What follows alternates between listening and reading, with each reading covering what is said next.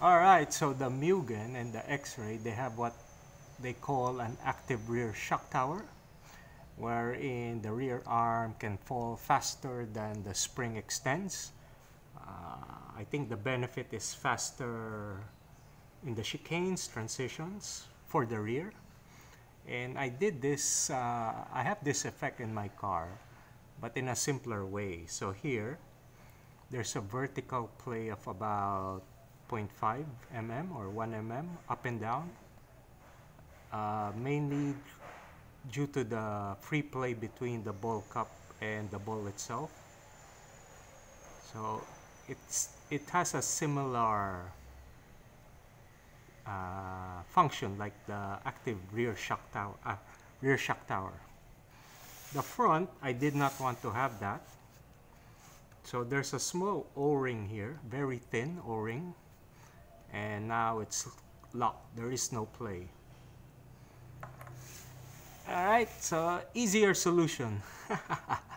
no need for those uh, fancy moving shock towers. All right, O-ring.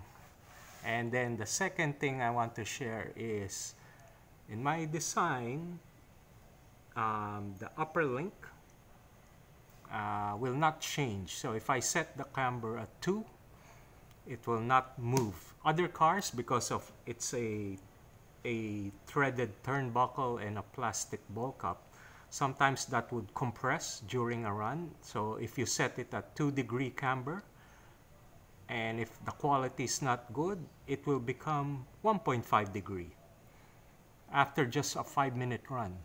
Or if it's there's a slight tap, it will move. This one, there is no free space. There's a spacer here, 3 mm and on my design, a 3 mm spacer here will give me 2 degrees.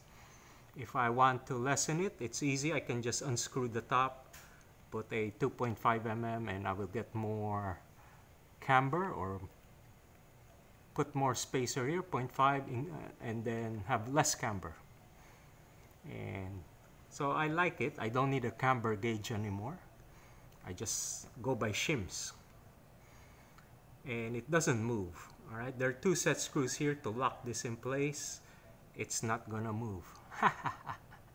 so I think that's better compared to some of the newer cars or I'm pretty sure the camber settings moves where you have to check every run your camber setting and I'm too lazy for that. I designed my car to be uh, for, for lazy people like myself.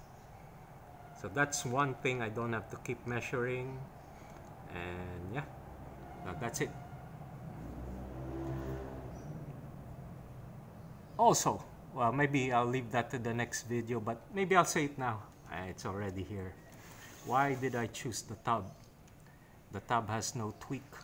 So unlike graphite with an upper deck where you have to keep checking the tweak and you have all these tweak tools and uh, all that stuff the tub this one is really flat. I like I like the TT01 tub. It's flat. There is no warp, and it holds its settings. It's always flat. There's no tweak after a run. All right, so that's another time saver for me, and yeah, that's why I picked it as well. And the tub will also not necessitate an upper deck and helps lower the CG. So there's something, you know, still good about having a tub design. And uh, this one particularly better because there is no warping in the TT01 tub. Alright, so that's just a, a small update on my design and why I did it that way. Alright. If you look to the left, those are my son's uh, aquariums. They're full of fighting fishes, betta fish. Uh, let's take a quick look. I also, this is my fish pond. I have some goldfish. But here we have some beautiful fighting fishes. Yes. So maybe once a year we breed and then we have a lot of fighting fishes at home. Alright, so fish Fish is another of my hobbies. Yeah. Laundry is not. okay. All right. So hope that's uh, that's uh, another update. Hope you enjoy it. See you.